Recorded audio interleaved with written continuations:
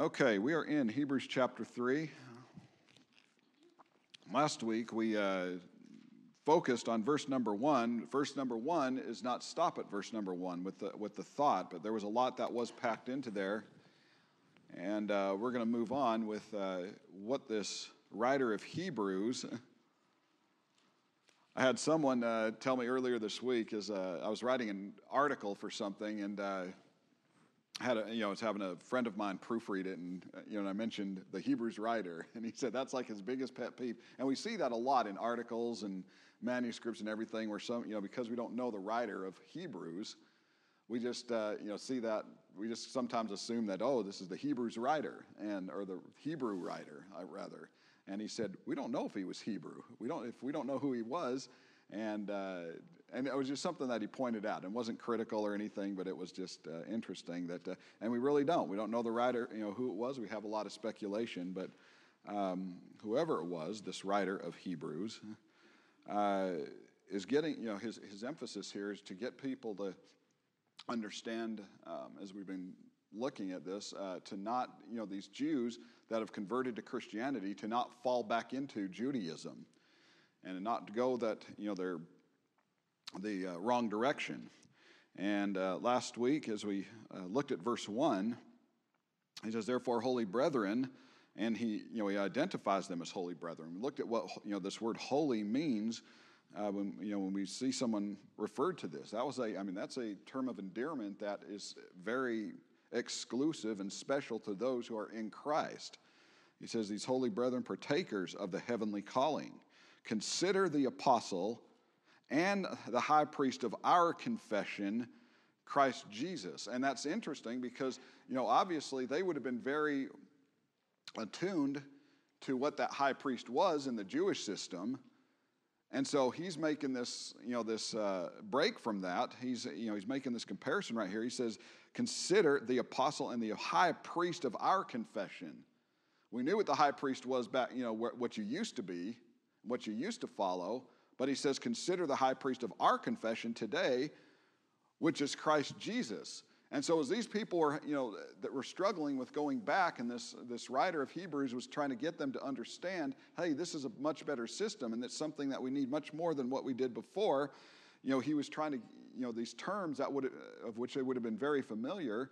He's saying, now look at it. Now look how good this is. And then he goes on this, you know, this high priest of our confession, Christ Jesus, who, verse 2, was faithful to him who appointed him, as Moses also was faithful in his house. And so we see as, you know, this is a look at how Christ, you know, taking this uh, subordinate role to the Father was, you know, in being uh, sanctioned it, you know, to come down and do what he did here. He says he was faithful to him who appointed him, but he's, then he says he, he turns his attention to Moses, and that's what he's going to do for the next couple of verses right here. He says, just as Moses was also faithful to all his, Christ's house. And so we see this, you know, this, uh, the, the attention right here that's being laid to, you know, to, to emphasize the you, you know, the uh, relationship, the house that uh, he's talking about right here, in all of his house. And so, for this one has been counted worthy of more glory than Moses, inasmuch as he who built the house has more honor than the house. I'm just going to read it through six and then we'll break this down. For every house is built by someone, but he who built all things is God. And Moses indeed was faithful in all his house as a servant being God's, Christ's house, as a servant for a testimony of those things which would be spoken afterward. But Christ as a son over his own house, whose house we are, if we hold fast the confidence and the rejoicing of the hope firm to the end. And so we see this comparison right here of, of Moses' house, which is what they would have been a part of before, and Christ's house, which is what they're part of now. And he's trying to get them to understand you know, just uh, the difference in it. There was, you know, you know when, the, when the Jews were called and the law was given and they were going, you know, they were amenable to those laws, were they flawed laws?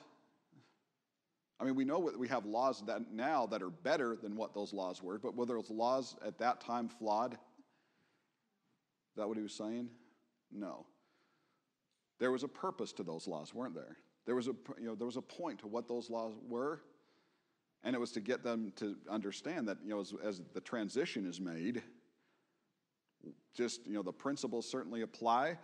We're not under the same kinds of laws that they were back then, but certainly the principle is to apply. But, you know, God gave the laws. We know that the laws were not going to be flawed. God doesn't give a flawed law. He gave those laws exactly the way He intended them to be, and they served the way that they were supposed to serve for those Jewish people. But now comes this new one that's you know much better. And so he makes this comparison starting in verse 2 uh, to Moses. who says he was faithful to him who appointed him also. Moses was faithful in all his house. But there, there were those that didn't obey or follow Moses, weren't there? Just as there's not, you know, there are people today, we have this new law in effect, but just because laws are in effect, does it mean that people are just automatically going to follow them? We know people don't follow their laws. That's how Jim was able to stay, you know, he had a job for all those years, right? Because people didn't follow the law. Just because they are in place doesn't mean that, you know, everyone's just going to, you know, do what they do what they say. And that's what he's getting them to understand. Moses brings down, you know, he, he, he introduces this law, he ushers in this law, or many laws, but they still had trouble back then. And that's the same way that these, you know, these people that he's talking to right here being lured back into Judaism compares to the Israelites being tempted to return to Egypt. And remember what they kept saying to Moses? You know, they go through and Moses, you know, he, he presents the manna and he get, you know, gives them the water, but they were, at first, when they didn't get it right away, what happened? What was their mindset? What was their attitude? What did they do? They were grumbling, weren't they?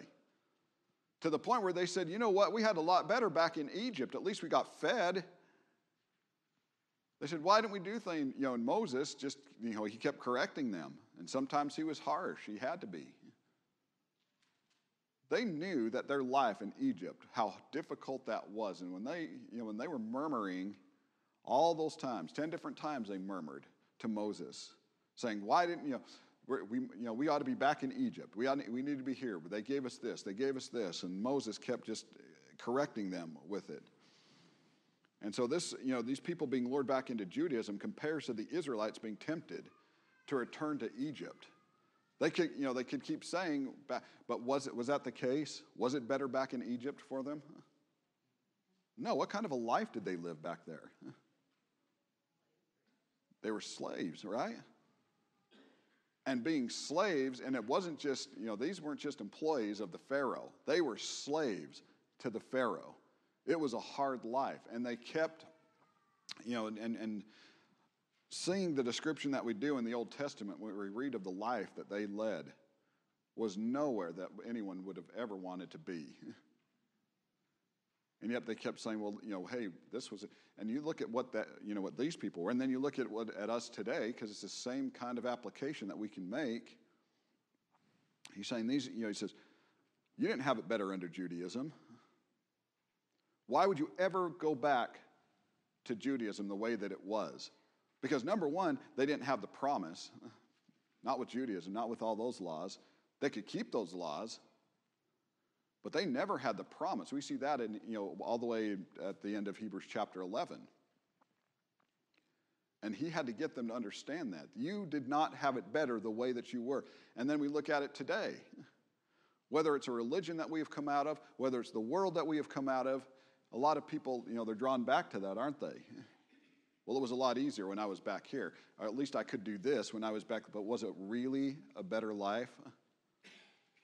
That life provided no hope. It might have been, you know, temporary fix,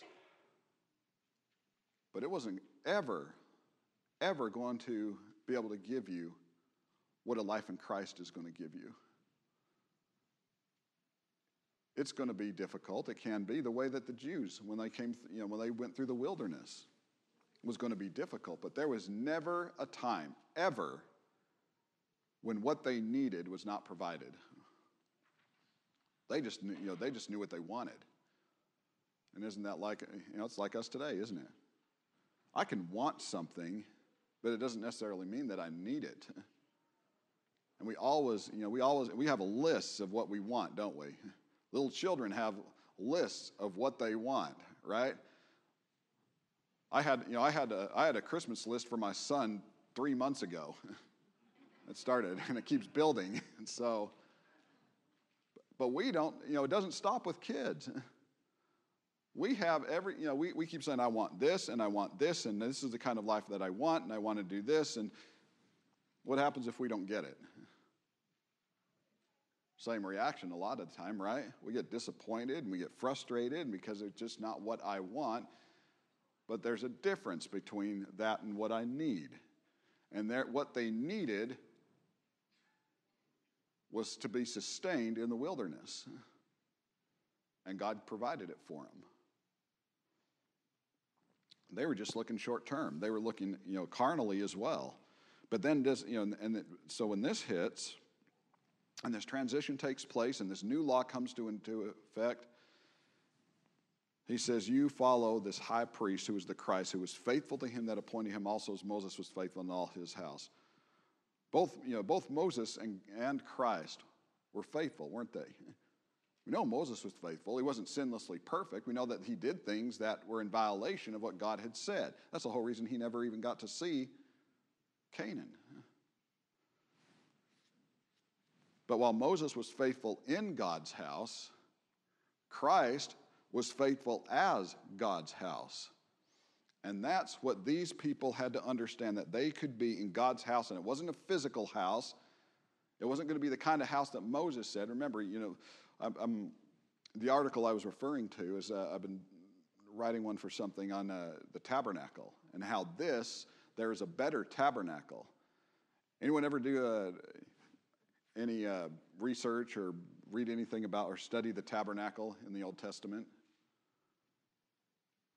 You remember what, the, what was the tabernacle for? Why, why, why, I mean, why was that built? It was a house for God? Okay. What else? For worship? For sacrifice? Okay. How was it displayed? What was outside of the tabernacle? Courtyard. Okay? What was in the courtyard? You remember? It was surrounded by tents on all sides, not being able to get into that tabernacle except for one entrance, was it?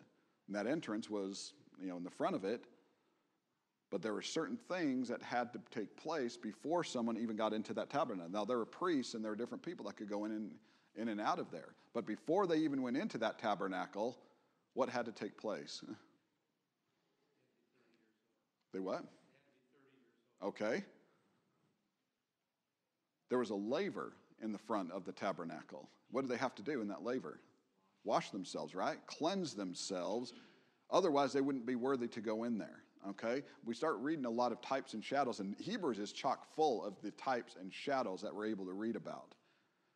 That's why they, you know, and we see that a lot because, and they had to understand that because here was the Hebrew people, these Jews, knowing everything that they had physically, but knowing, you know, what, what the antitype would be or the shadow of what those types were. Now it's all spiritual. Now it's much more than that. While it might involve some physical uh, elements, the nature of it is spiritual rather than physical. Back then, they had to sacrifice animals in a physical way, didn't they? And that's exactly what the tabernacle was. They had the, you know, there's the altar that the high priest would use, and he would slaughter an animal on that altar once a year. What would he do with the blood? Takes it into the tabernacle all the way to the most holy place, because it was separated into a holy place and most holy place. What was in the most holy place? Ark of the Covenant. What did that signify? Or uh, what was the Ark for? to house God. That's a mercy seat right there. And he had to take it in and sprinkle the blood on that on the ark. But in the whole in the holy place, when you start looking at this and what the comparison was in Hebrews later on, we're going to look a lot more in depth than right now, but uh, it's an amazing thing. Inside we had what? What was in the holy place inside the tabernacle? Do you remember? Once you go inside of it, Okay, there's a table of incense. The candle, the, yep, the golden candlestick, or the not the candle, the golden candlestick, the golden lampstand that held the candles. Table of showbread. So you've got the well, the seraphim was on the on the uh, ark, and that's you know was built on the ark. So you've got the table of showbread. What does that what does that signify? When you look at the comparison of what this was, it's the church with what we're looking at right here. It was the type of what the church is table of showbread. We see the Lord's Supper being made, and we'll see this comparison later on. You've got the candlestick or the lampstand. Okay, what do you know? What does what do candles do? It's light, isn't it? It lit up the place, and when you look at the comparison, it you know it talks about uh, that this is the presence of God, that God is you know, lighting up the place. In fact, when you take that and couple it with what uh, Revelation chapter 2 says, he says, Unless you repent, I'm going to remove what? I'm going to remove the lampstand. In other words, unless you repent of your, you know, in your lives, I'm not going to be present. I'm going to remove myself. And then we have this, uh, the incense. And when you look at what incense is, and you know, and they describe it, uh, Exodus talks a great deal about this. As he talks about all these different things. Incense, what, what's the purpose of incense? Why do we light incense, or why would they light incense? It's what? It's the aroma, right? We don't just light it to light it. I mean, it's not going to start a fire or anything, but people light it to, because it smells good, right? It's an aroma. And when you what, look at that table of incense, prayer is described as that being that aroma that's lifting up to God. And so all of these things that they're building with this tabernacle is a type of what the church would be. And so we see that right here that you know Moses is faithful in all his house, meaning he was faithful the way that he kept the law and the things that they did with this tabernacle, and that's how, how it had to be. It could not be any other way. He couldn't enter the tabernacle from any other direction. It had, there was a process to going in. And once you're inside, there were specific things. In fact, the Ark of the Covenant had things inside of that that were representative of what, you know, what these people would be. Who knows what was inside the Ark? Ten, okay. The law was in there. What else? Staff, the staff of Aaron, representing the priesthood, because that was the priesthood of Aaron right there. Now we have a better priesthood, right? and manna, which was given to them to sustain them. But now that in Christ, God says, I'm the bread, and I am, you know, that I'm the bread of life. No more do we just need that physical. Remember, it's all spiritual in nature when they're settling all of what the type was. And the staff of Aaron, better, you know, better priesthood. We're going to be sustained now with Christ.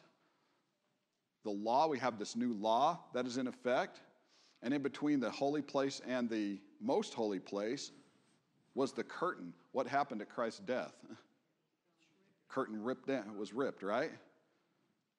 Indicating that those who are in the church, those who are in the, in the holy place, now had access to the most holy place, which is heaven.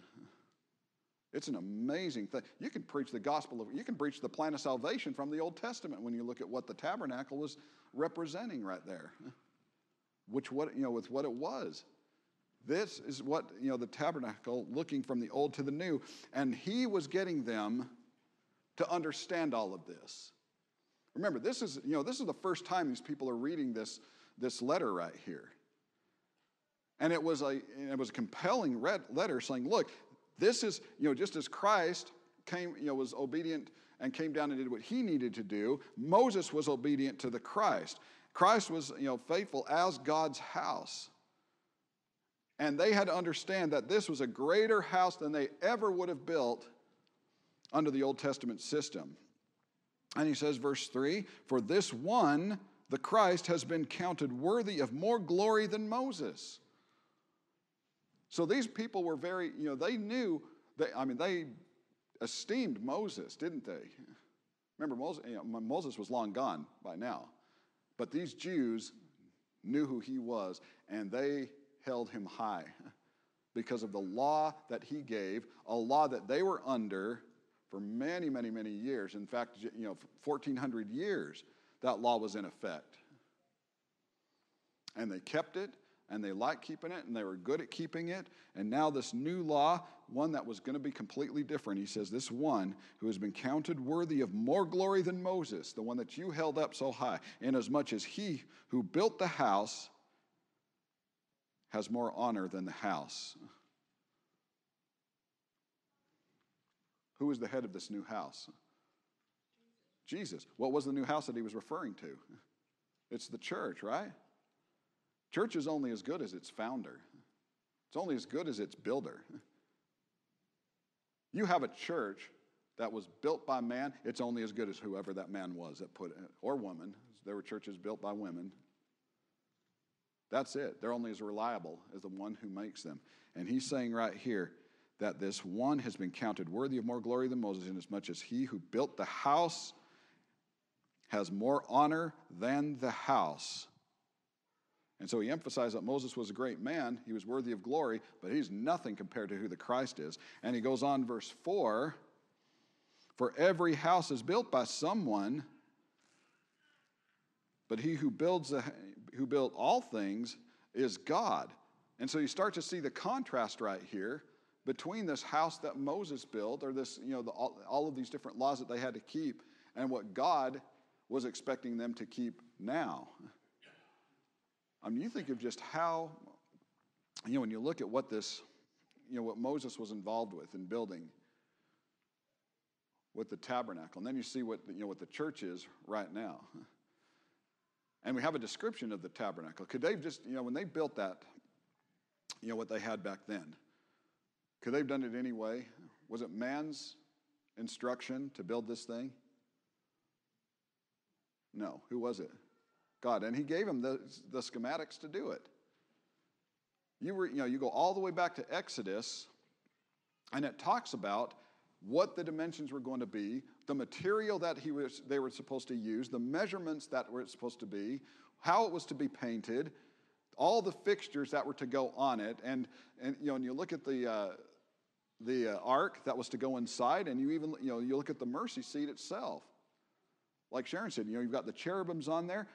It couldn't be done another way. That ark had to be built exactly to God's specifications. There was gold that was to be laid. There is, you know, for the for the tabernacle, different things had to be constructed, and you're able to see back in the Old Testament how each thing was even to be built. In fact, what they did is they said, okay, there's going to be this tabernacle. This is going to be where people go in. This is going to be for worship, and this is where the high priest Aaron, being the first high priest, this is where he's going to go in to the most holy place, and no one else is going to have be able to have access to that most holy place except for that high priest. Now they can, like I said, they can go in and out of that temple if they do what was, you know, what was authorized for them to do, to wash in that laver, and then to go in and to fulfill whatever you know responsibilities that they had but they had to do that first. And so once they had the, you know, the tabernacle spe- uh, specified, then they had to make every single thing that was going in that tabernacle to God's instruction as well. That table of showbread had specific instructions, and you're able to see that in the Old Testament. That this is how it was to be built, and it went on and on and on of telling them, "This is how I want you to put it together. This is how this is the color I want it to be. These are the you know these is you know you want you put this on it and this is going to be its function. That altar of incense, that's how this is going to, this is going to be. And they had all of these specific things that they had to do to make sure that that holy place was really going to be holy. Man couldn't just do that. Every single thing had to be done according to what God gave them. And that is one of the most compelling things that we could ever take out of this when we start reading that, comparing it to what Hebrew, the, the writer of Hebrews wanted these people to know, these Jews. Because when we look at the church, and when he's, when he's making this comparison, you know, this contrast, and how God has counted more glory than Moses, it wasn't just God that was counted more glory than Moses, it's that God's house is going to be counted as more glory than the house that Moses built, this tabernacle. They weren't going to have to have that tabernacle anymore. You know, Christ was a son. Building a house requires a builder, don't they? Doesn't it? House isn't just going to put itself together. And what happens if you know if you were to just go and try to build a house one day, and you didn't have you know you didn't have an architect, you didn't have any plans, you didn't have any writings or renderings or drawings of that, and you just said, you know what, I'm just going to go get a bunch of wood and metal pieces and panels and everything. How stable do you think that house would be? How together and precise do you think that house would be? Could any of us just go and do? I couldn't. I have trouble when I have instructions. We, right. it's amazing to me that you know some people. I mean, you know, and some just still don't think it through with the way that homes are put together. You know, it's interesting to me. I always, I was when I, when I lived in Southern California. If you've ever driven up, um, I think Laurel Canyon or Mulholland Drive or whatever, you'll see these millions and millions and millions dollar homes that are up on these hills. And you know what holds them up? One single block of wood. One single beam that holds that house from toppling over on that hill. That's it. The balcony comes over, they look really lavish. Guess what happens when a mudslide hits? It has destroyed so many homes, and then all of a sudden it doesn't, you know, the value on that home. You know, when you're that homeowner, you know how much it's worth because you're paying for all the damages, but then you know, you drive by, that home is not looking so good anymore. It's not stable. You know, we hear, you know, we sing, the, we sing that song about the wise man build his house upon the rock, right? and the sand, that, that house could look as good as it could be, but if it was built not on the sand and does not have that foundation, it doesn't matter. That's what he's getting them to understand. The tabernacle had to be built to God's specifications, and then you take that and compare it to what the church would be God's house, and we see that in verse 4 and following. For every house is built by someone but he who built all things is God, and Moses indeed was faithful in all his house as a servant for a testimony of those things which would be spoken afterward. But Christ as a son over his own house, whose house we are, if we hold fast, there's that condition again, if we hold fast the, condi- the confidence and the rejoicing of the hope firm to the end. The house to which Moses built was inferior to the one that Christ built. It's better. And you look at the specifications for the church. Could anyone just build a church? There are a lot of churches out there, right? But to be the one had to be what God had specified. Ellis.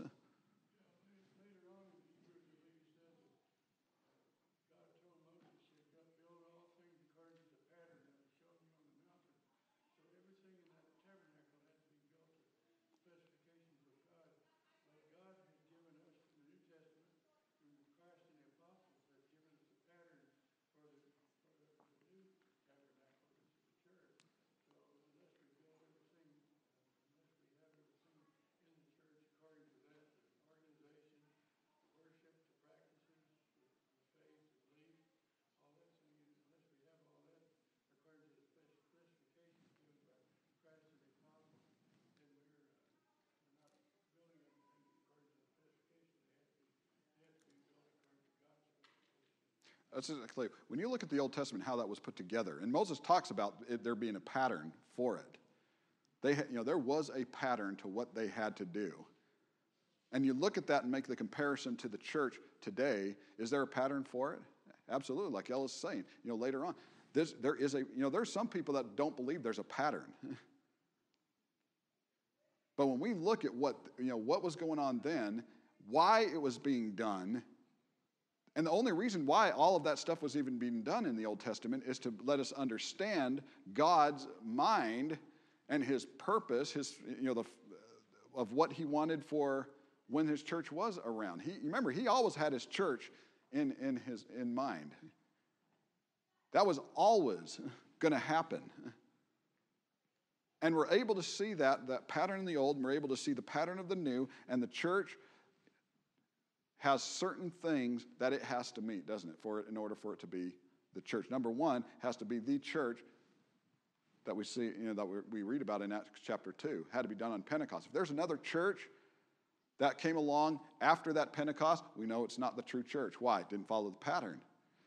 If there was another church that was established, you know, somewhere else besides Jerusalem, don't follow it because that's not, you know, that's not what that's not what God wanted. We see another church with some big flashy name or any kind of name that's up there that we cannot identify, that I cannot go to the scriptures in the New Testament and say, hey, you know what? That church is in here. look at that sign up on the, you know, look at that sign on the side of the building. That'll be your first indication. Doesn't mean that it's going to, you know, that everything else is going to fit. But if you can't find that church in the New Testament, and we see all of this, you know, Missionary Baptist Church here and Presbyterian and all of these different kinds of churches. But if that is not in the, that's, you know, that's the first sign that it's not fitting the pattern what God wanted. He has specifications for his one house, his church, like there was for the tabernacle back then. And it's better. Annetta?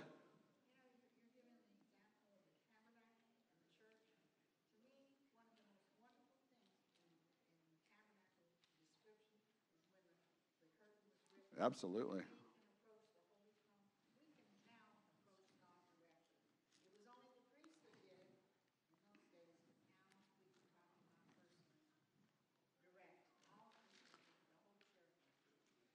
Aren't we thankful for that? That's a great point. I'm going to end it with that point because I think that's a great one that we now can petition Christ directly. We don't need a high priest. We can go straight to the high priest now because he is the lawgiver. Appreciate everyone's attention and your comments.